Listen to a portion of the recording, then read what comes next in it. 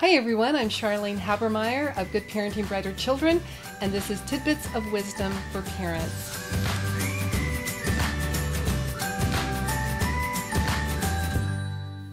Today we're going to talk about our musical universe because it is such fascinating material. I think you'll really enjoy it.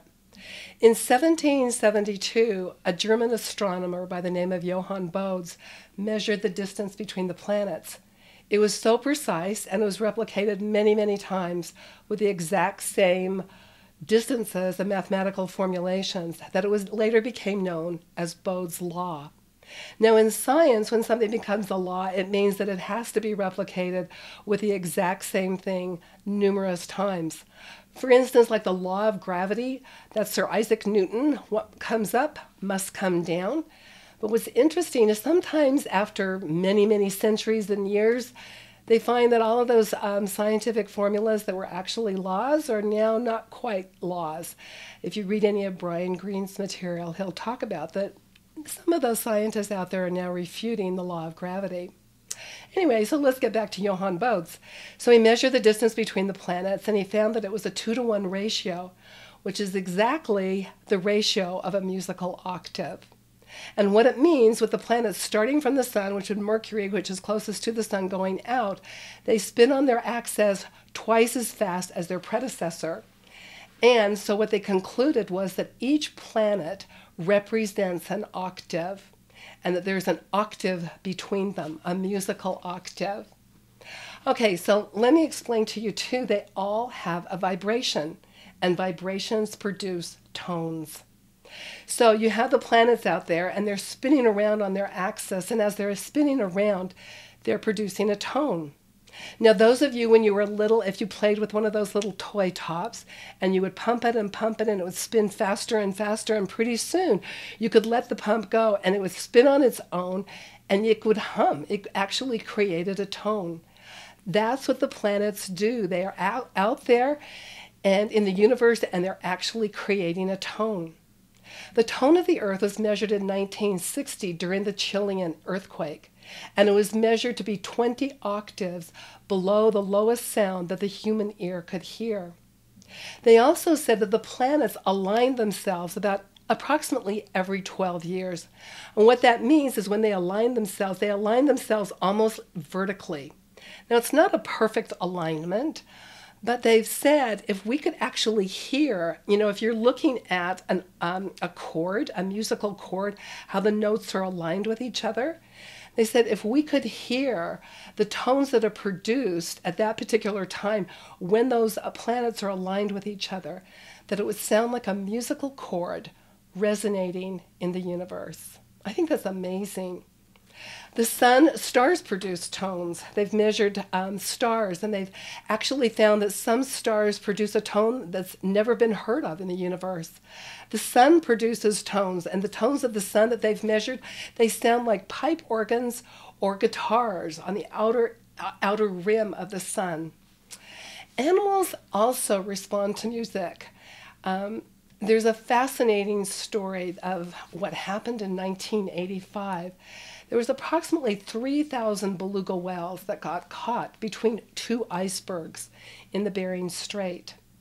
They were taking turns and they were surfacing up to the top because there were some holes and they were able to get, you know, breath.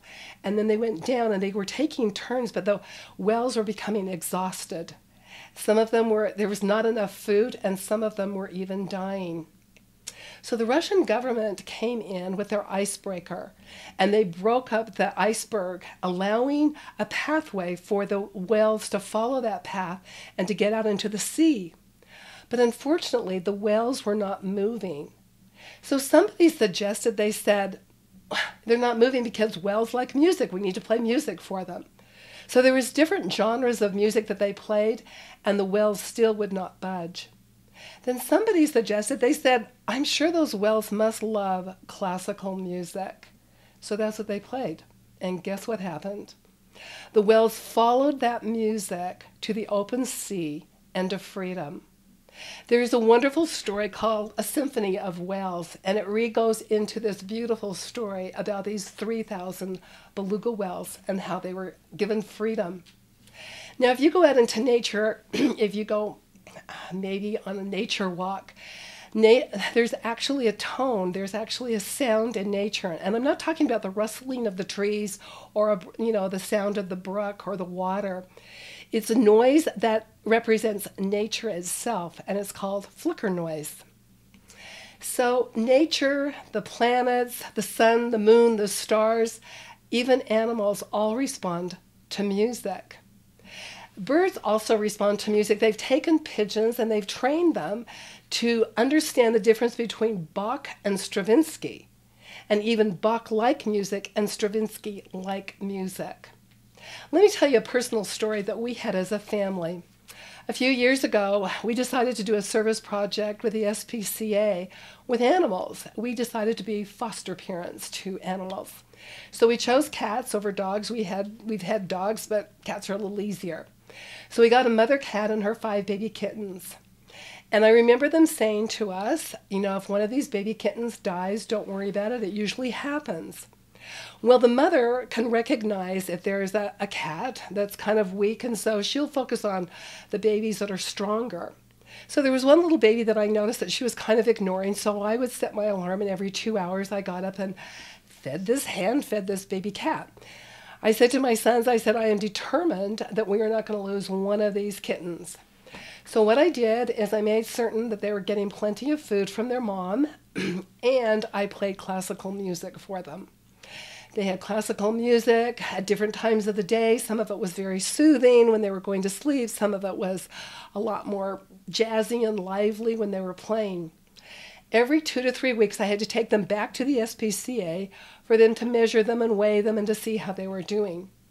Every single time I took them back in, they said, these cats are at least double the age of what you have down. And I says, well, I got all my information from you. You gave me all these numbers. They says, well, they're twice the size. What are you doing? You know, you know, they don't look like they're overeating. You know, what's going on? So I said to them, I think it's the music I'm playing for them. Sure enough, not one of those cats died. And then when they were adopted, I put together, as a family, we put together this package of all these pictures that we had taken of them and also a CD to go with each kitten to their new family so that they could continue to uh, listen to the music that they loved best. So that is just the power of music in our universe and with animals and with the sun and the moon and the stars. And I think it's amazing because I think there must be something within us that loves music. So it does have an impact in the universe, but its greatest impact is on human beings, on our development and, and the entire organization of our neurological system. It's that powerful in our lives. Make sure that you are exposing your kids to music and yourself. You'll be a better person for it. Thank you for joining me, and I'll see you tomorrow.